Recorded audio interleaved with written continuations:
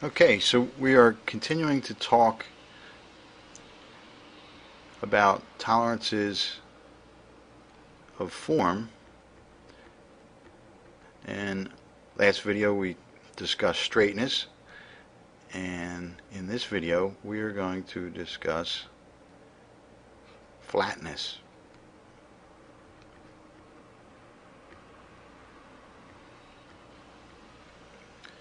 Now, flatness, a simple way to think about it is if we take the principles we discussed when talking about straightness and where we were talking about line elements, we can translate that into a three-dimensional plane and the tolerance is applied in a similar manner. So whereas a straightness tolerance, we were looking at our same example here of a plate a flat plate.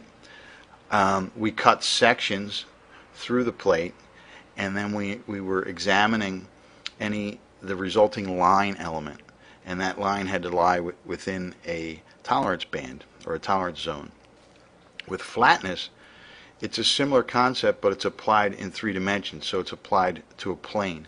So here we have a plate, uh, the same plate we looked at in our straightness example and we see a flatness tolerance symbol and the same value we used before in the in the tolerance frame of 10 thousandths of an inch.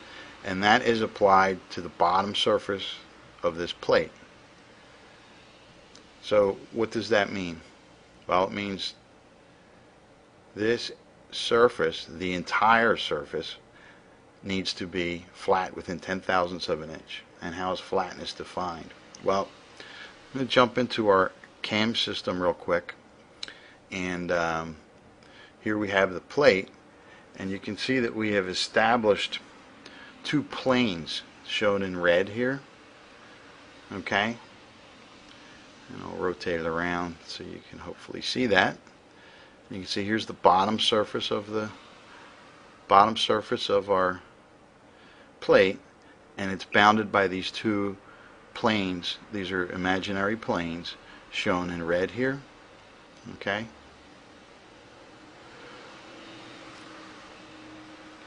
Now, what flatness is defining,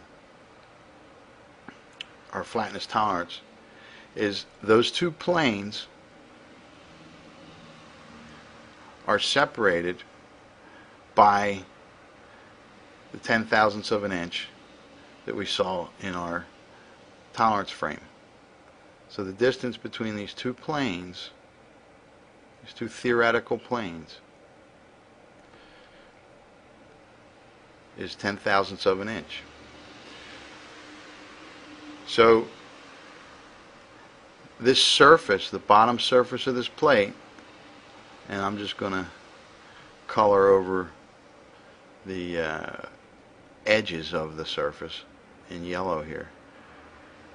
But that surface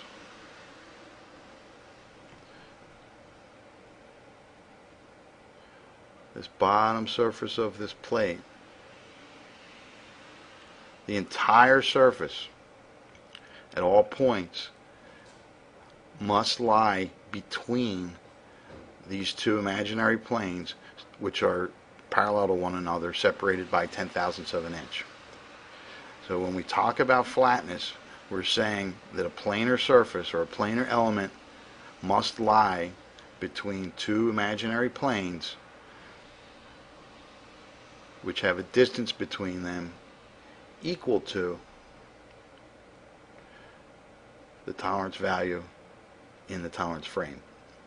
So in in real life what what we could see would be a flat or flat plate which it may be bowed like this.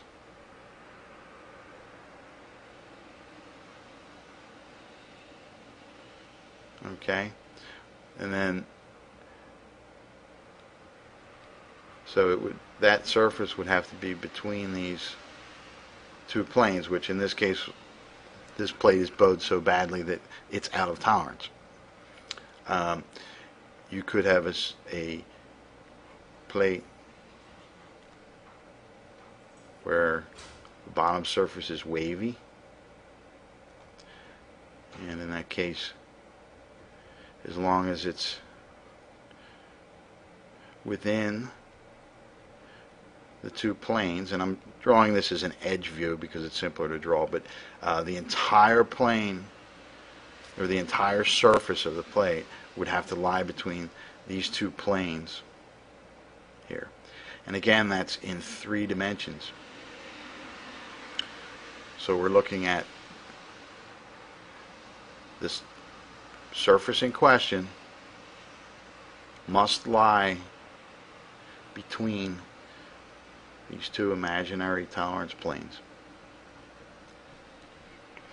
And that is flatness.